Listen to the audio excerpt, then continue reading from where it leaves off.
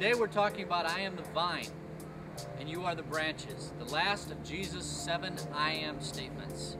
And honestly, growing up, I was always afraid of this statement because I never felt like I was producing enough fruit to be pleasing to God and that I was going to get cut off and thrown into the fire.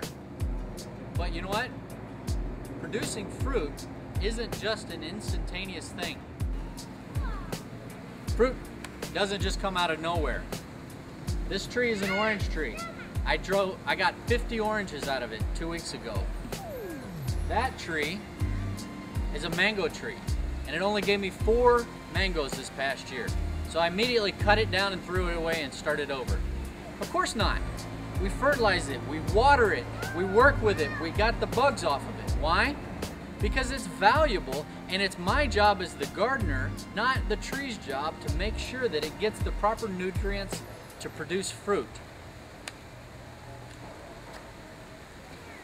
That's what we're going to talk about today.